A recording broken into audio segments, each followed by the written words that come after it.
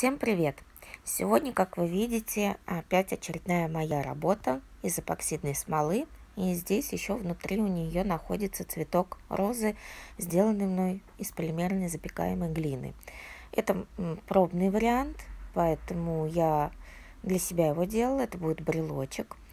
И я просто показываю саму технику изготовления и как опробирование эксперимент моего, своего рода, как будет э, работать эпоксидная смола вкупе с полимерной глиной.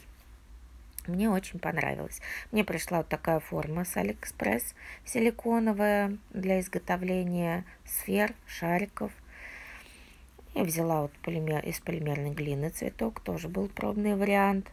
Я пока еще все это пробую. Для меня это все новое, и для меня все это пробные варианты.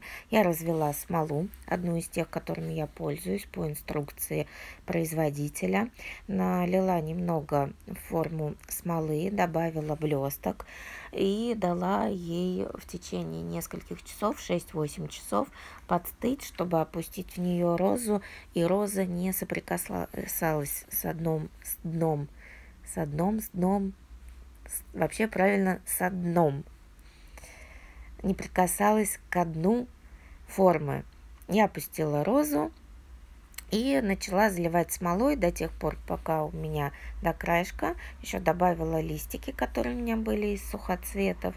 А, залила смолой до края формы, закрыла форму шар верхушкой и через предусмотренное отверстие долила смолой и оставила застывать на время, указанное производителем смолы. У всех оно разное составляет от 18 часов, у кого-то 48, у кого-то еще больше. Ну, вот данную смолу я оставила, пока она затвердеет. Дальше полученный шар, который у меня застыл, я освободила от формы и занялась обработкой тех изъянов, которые остались от заливки в форму. Это как ореол вокруг шара при стыке самой формы и верхушечка, небольшая капелька от отверстия, через которое заливается. Все, все, все я это сделала при помощи ножа, срезала край и при помощи маленькой бормашинки, которую многие применяют ну, как э, маникюрный, педикюрный набор. Насадки у меня элементарные для маникюра. Очень удобно все получается и быстро. Дальше я обработала наждачной бумагой краешки. Можно, конечно, доводить шлифованием до идеального состояния, но так как это пробный вариант, я не стала уже сильно доводить, просто попробовала, что будет, если я обработаю эти э, края шлифованные э, самой эпоксидкой. Я немного зубочисткой потом их эпоксидной смолой обработала. Предварительно я еще вставила крепление, на которое будет у меня крепиться к брелку. Фурнитуру для брелка у меня очень из Китая долго идет, поэтому окончательный вариант вы видели у меня пока без данной фурнитуры. Я обработала краешки смолой, э, получился не очень там ровный край.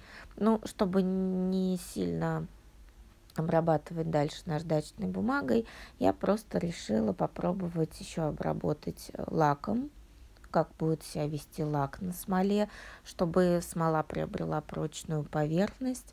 Я взяла яхтенный лак паркетный, но у меня он не прозрачный, а с небольшим желтоватым оттенком. Желтоватый оттенок, конечно, немного затемнил поверхность смолы эпоксидной, и я буду искать лак, э, который будет бесцветного э, свойства. Потому что лаком, конечно, мне понравился результат. Поверхность получилась более прочной. И терпкой к царапинам. Ну, в общем, такой вот у меня шарик получился. Это будет брелок.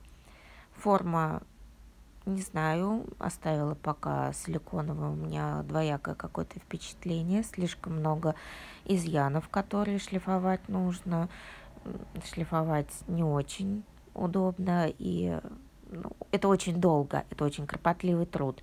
Ну, в основном результатом, как работает сама полимерная глина, запечатанная в эпоксидку, меня устроила. Всем спасибо. Пока-пока.